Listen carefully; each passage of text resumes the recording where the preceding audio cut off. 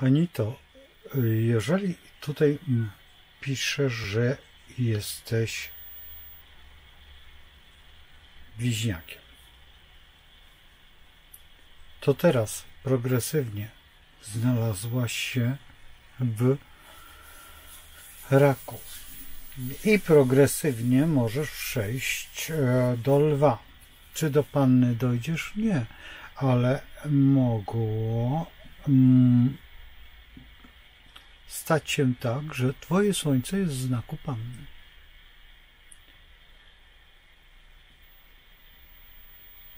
I wówczas e, no będziesz podobna do panny. Teraz, biorąc pod uwagę jeszcze inną kwestię. Znakiem bliźniąt rządzi Merkury. Zarówno jak i panną też rządzi ten sam Merkur, Merkury.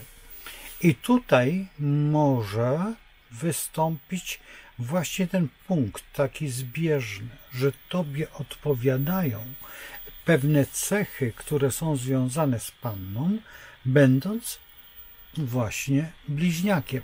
Mało tego, bliźnięta e, są znakiem takim troszeczkę rozgadanym i też potrafiącym przyjąć do siebie cechy pewnego znaku. Także tutaj ascendent, dominifikacja, wiele, wiele czynników może e, wystąpić, że akurat jesteś związana z. A propos twojej, twojej, twojej godziny urodzenia, powinna być w Urzędzie Stanu Cywilnego, tam gdzie odbierasz metrykę.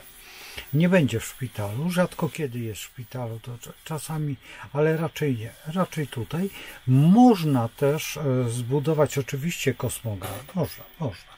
Zbudować bez ascendentu, to jest taki troszeczkę szczątkowy, ale po, po niektórych wydarzeniach tak zwanych e, też można rozpoznać. I jeszcze kilka rzeczy, e, kilka jest takich e, powiedzmy, że historii, które można, można zbudować kosmogram, a w dodatku ascendent no jest do odbudowania. Faktycznie jest są metody, nie namawiam, że masz zadzwonić, ale e,